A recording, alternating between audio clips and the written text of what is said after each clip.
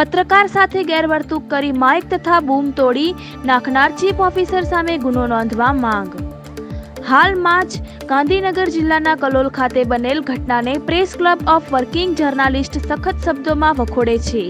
એક પત્રકાર ઉપર કલોલ નગરપાલિકાના ચીફ ઓફિસરે કેમેરાની સામે જ ખુલ્લી દાદાગીરી કરી પત્રકારનું માઇક તથા બૂમ તોડી નાખેલ છે.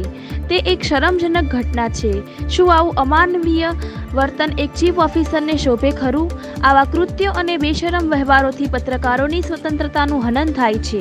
અને પત્રકારો સ્વતંત્રતાથી પોતાનું કામ કરી શકતા નથી. પત્રકારો પ્રજાના જાગતા ચોકીદારો છે તેમજ લોકશાહીના મજબૂત સ્તંભ છે.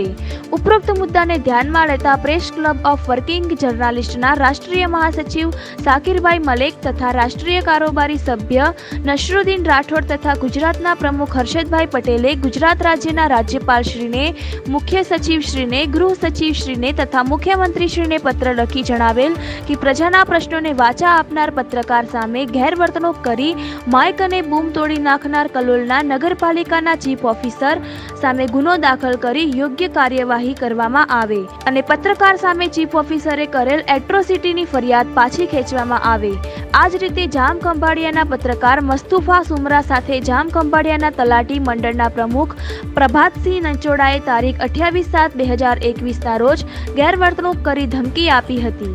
તેની ફરિયાદ જામ ખંભાળિયા પોલીસ સ્ટેશનમાં નોંધાયેલ છે. તેની પણ નિષ્પક્ષ રીતે તપાસ કરવામાં આવે અને ભવિષ્યમાં કોઈ પણ પત્રકારો સાથે આવા બનાવો ના બને તેની સરકારે કડક દ્વારા અમલ કરાવવા આવે. અને દિવસે દિવસે વધતા જતા પત્રકારો પર હુમલાઓને અંકુશમાં લઈ આરોપીઓને સખત સજા કરવી જોઈએ. રિપોર્ટર દિલીપ ત્રિવેદી, ડીસા બનાસકાંઠા.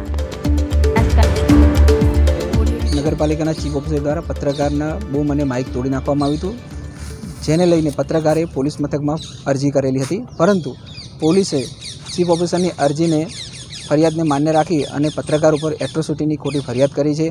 તે સંપૂર્ણ વિડીયોની અંદર દેખાઈ આવે છે કે તદ્દન ખોટી રીતે ફરિયાદ લેવામાં આવી છે અને પત્રકારની અરજીને ધ્યાને લેવામાં નથી આવી.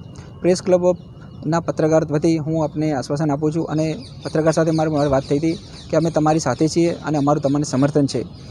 રાજ્ય સરકાર દ્વારા અને પોલીસ દ્વારા જે ઘટના ઘટી છે તેની તાત્કાલિક તપાસ કરી અને પત્રકાર મિત્રને સમર્થન આપી અને એમને જે ખોટી રીતે ફરિયાદ થઈ છે, ફરિયાદ પરત ખેંચવામાં આવે તેવી અમે માંગ કરીએ છીએ.